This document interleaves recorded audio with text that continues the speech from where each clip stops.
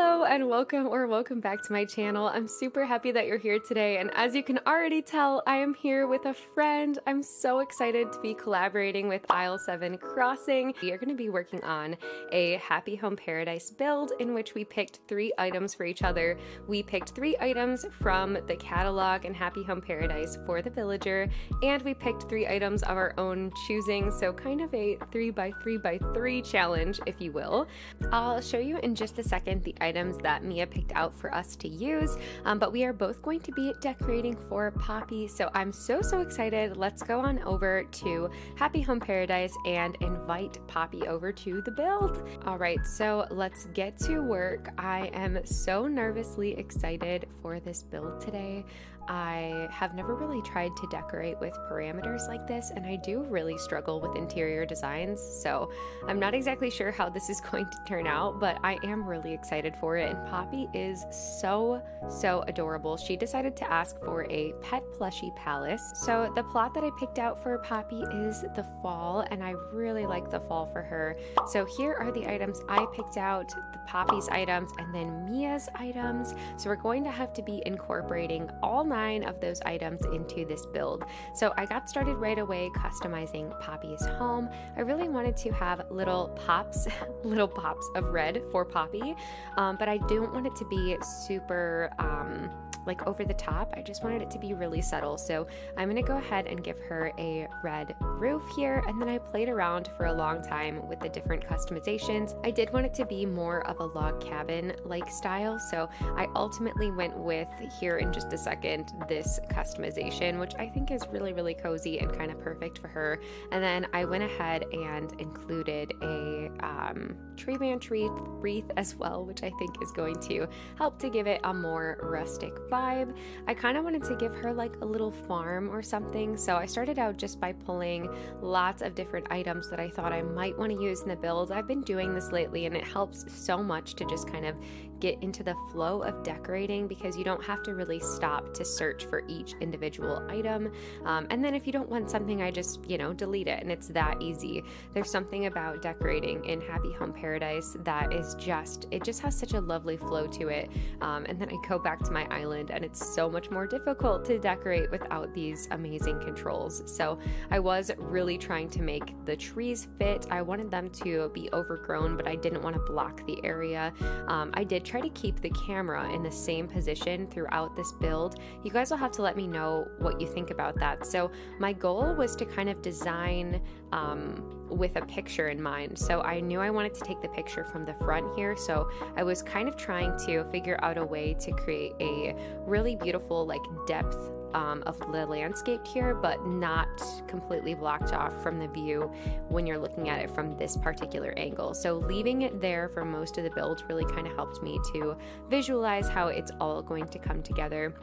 I did want to make those clotheslines look like they were actually hanging between trees, um, which I think is so cute. And then I always like to put some fencing or just like a taller item behind the cliffs um, in the back of the build because I think it just adds a little bit of texture back there, a little bit of dimension.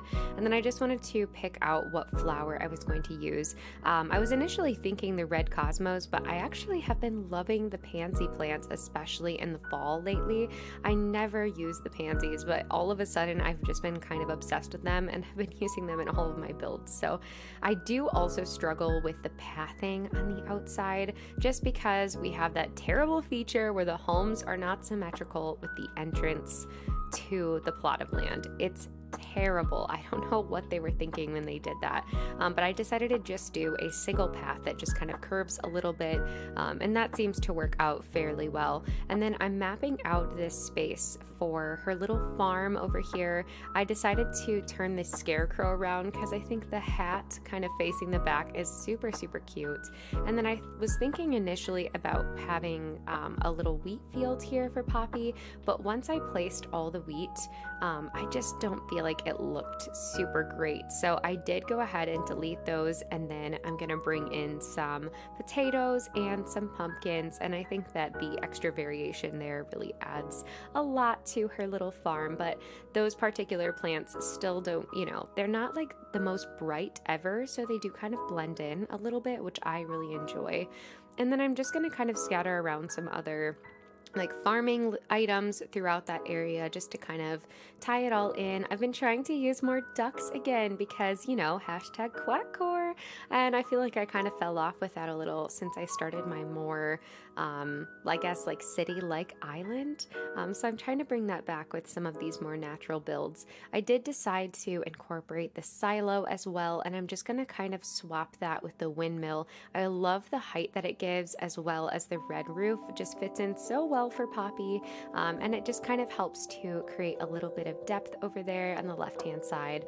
And then I'm gonna go ahead and move that garden wagon. I love the way it just peeks out from the tree there. I think it's so cute. And then I'm turning around the trusty pirate barrels. I love the side lying pirate barrel. I wish we had a version of the brown barrel that was like laying on its side. That would be amazing. They would be such a beautiful set. I would use them all the time. But, you know, we don't, so that's okay. um, I did want to include this retro gas station um, pump as well because it just kind of adds to this like rustic kind of farm like I guess vibe that we have going on here for Poppy. And then I'm just filling this in with a, the last finishing touches um, of this area. I did go ahead and use those glass bottles that Mia had requested that I use. Uh, I just went ahead and set them there on the pirate barrel and I think they give it a really natural and kind of rustic touch. I'm gonna go ahead and fill in a lot of the space in the back with the wheatgrass item, which is such a beautiful item. I'm so, so obsessed with it.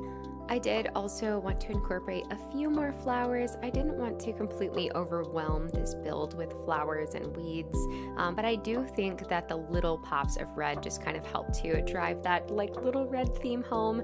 I was really loving how this build came together together. And then I did want to incorporate some of these wild log benches. I was actually really inspired by another creator that I love, acnh.balar on Instagram. Um, she makes the most beautiful, natural kind of cottage core landscapes. You should definitely check her out if you're looking for some inspiration.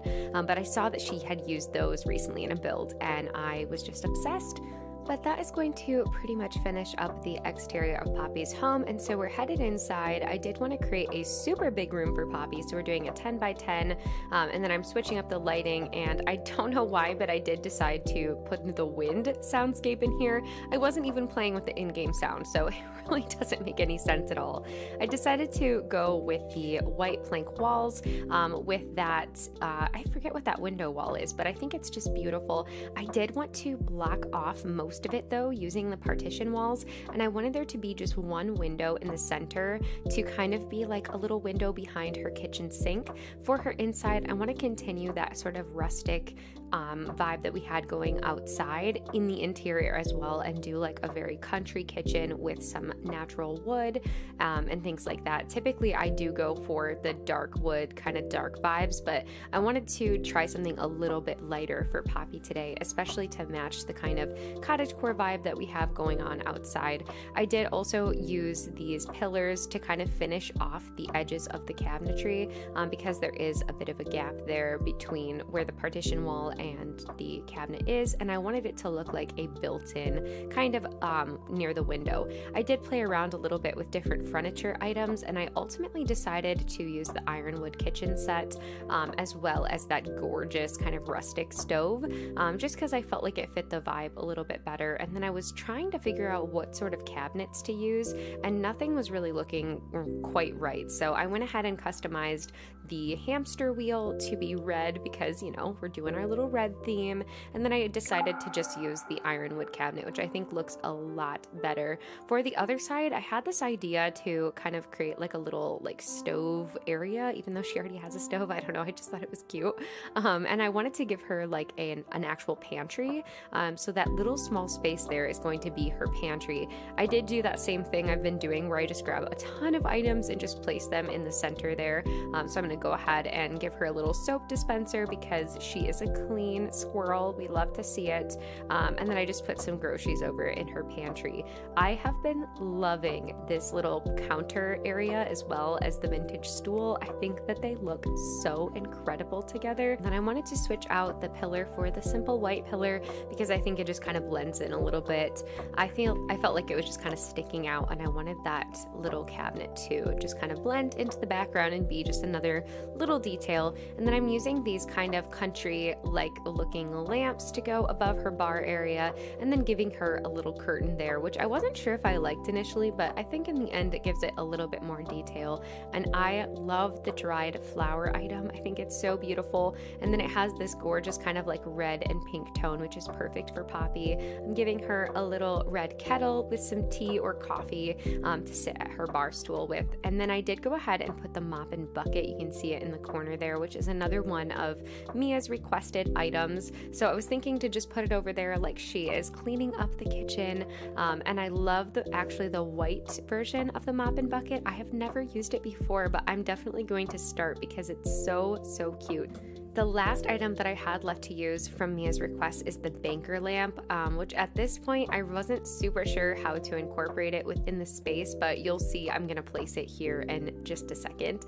I did go ahead and use this really soft kind of beige rug, which I think is so beautiful, and I'm just kind of creating a cozy little sitting area for her over here. I've never used the bookshelf in that particular um, customization because I just always go for the dark vibes, um, but it's just so beautiful in her home. I'm really glad that I pushed myself to do something a little bit lighter today. And then I gave her a red um, busted radio as well because I did want to continue to add those little pops of red throughout the build.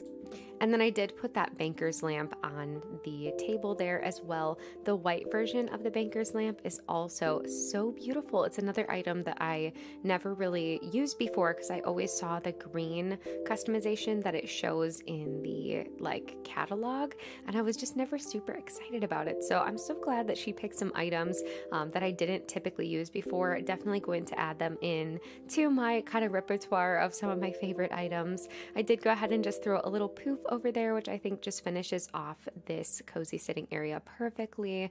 And then I wanted to add a few things onto the wall. The macrame tapestry is a classic item. And then I usually will just add like a radiator somewhere because I think it's just such a cute item. I gave her a little antique clock and a light switch. Um, and then I wanted to include some shelving um, and things like that along the other wall. Not doing anything super crazy here because this is a wall that you probably aren't aren't going to see unless you're like really in the room panning around. And then I gave her a little hat as well. So just a few little details, nothing too cluttered or crazy for that area.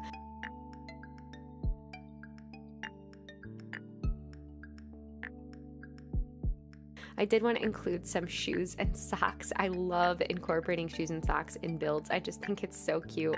Um, so I'm just going to throw those in another little pop of red. Um, and then I have been using the Schefflera plant. I feel like the Monstera has taken a major back burner for me, um, but I'm going to go ahead and try to incorporate that in this area as well. For this um, other side of the room, I wanted to give her a big space to entertain. I feel like Poppy would love to have friends over um, and to kind of like entertain So I gave her a big country style table here and I've actually not ever used the ranch style table either. So it was really fun to get to use some items that I don't typically use. And then I wasn't sure what rug to use for this area to kind of section it off. So I just went ahead and used the beige um, rug and then just kind of like put all the squares together, which I think works surprisingly well. At this point, I'm not gonna lie, I was feeling a little bit um, lost. I wasn't really sure what to do around the dining table, but I felt like the tension pole shelving here kind of works perfectly with it. So I'm so grateful for those items because it also fills up the wall space as well. It's like a perfect two for one. Um, and then I went ahead and just threw a little lamp back there. It just kind of adds some soft light. And the rest of this build is just me adding in some kind of smaller details details. So I'll let you go ahead and vibe with the end, and I'll be back in just a second.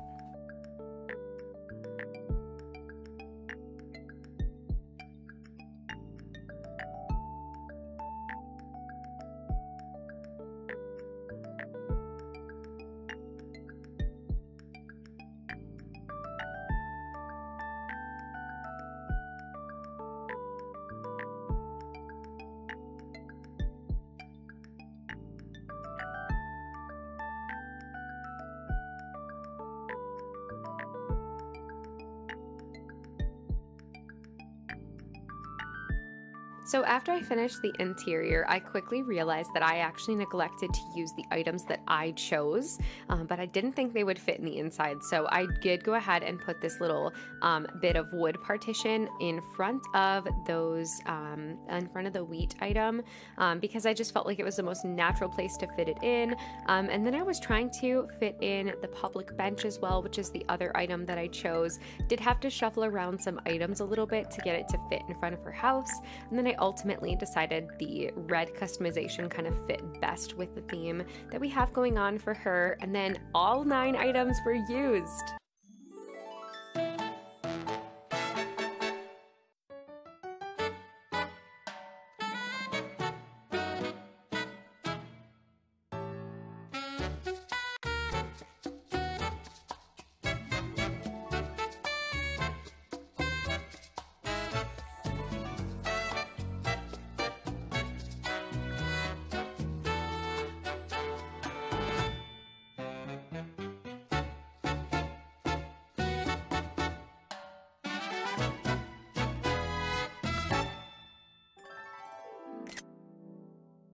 So this is Poppy's little farm. See, you are smart. The fact that you use the items on the outside, I used all my inside. So, so great. Already. I tried to mix it up a little bit because I did not know how to use the banker lamp outside. Yeah. Okay. So here's oh, her inside. This I, is so cute. Thank you. But I just gave her this like little country vibes. So you got the mop and bucket over there with her ironwood sets. Okay, and... good. I'm like, you've got to show me where all the items are. I see the banker lamp. I see Oops. the mop and bucket. I see yeah. the plush puppy, which I think was on Poppy's list. Yeah, it was. And I can't remember what else was on her list. I think the bird. Oh, hamster cage. Yeah, the, the hamster cage. yep, on the back by the window. And then the items I picked, I think, were all outside. I yeah. You are just too big brain because I did not even think about putting any of the items outside and I shoved them all indoors. Oh no, I'm sure it's amazing though. I love all the pops of red that go with her too that you included in there. Oh, thanks. Thanks for noticing. I really tried to include like some little red elements for her cuz, you know, um, but if you guys want to check out Mia's beautiful build for Poppy, definitely go and head on over to her channel. I will link it in the description below as well as on the screen here. Um, so definitely go and check out her build for Poppy. I can't wait to see it. Um, but before we say goodbye today, I do want to take a second to thank the members of the Fox fam. Thank you guys so much for supporting my channel. You can also support the channel by liking and subscribing and hitting the notification bell if you'd like to be notified when I upload. But thank you all so much for watching, and I will catch you in the next one. Bye.